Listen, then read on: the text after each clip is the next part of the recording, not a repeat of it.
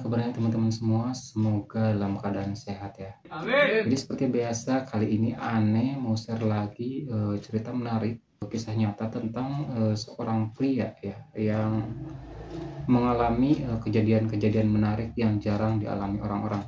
Judul judulnya adalah Misteri Ayam Siluman.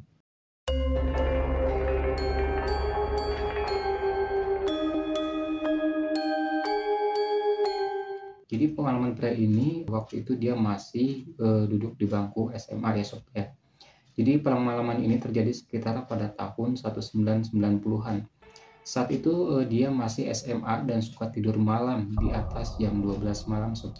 Jadi suatu hari sekitar jam 12 malam ketika dia lagi asik nonton, tiba-tiba terdengar suara kepakan sayap ayam seperti mau berkokok.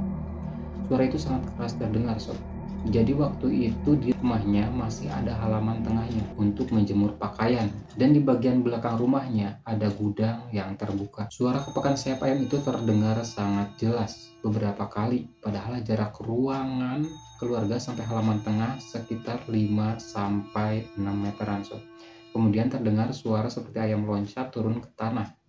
Bunyi jeluk dengan jelas juga karena penasaran dia pasti ada ayam tetangga yang malam-malam lepas. Lalu dia mencari lampu senter. Kebetulan ibunya terbangun dan bertanya buat saya mau mencari ayam.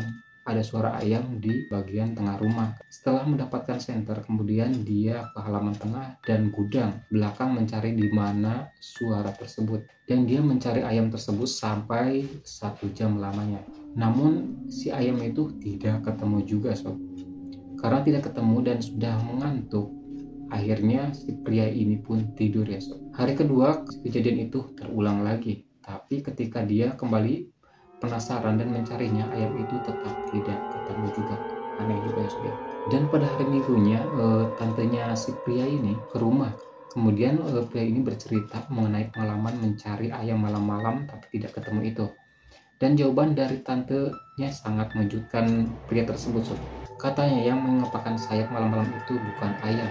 Kata tentunya itu adalah kebelak atau alias dedemit.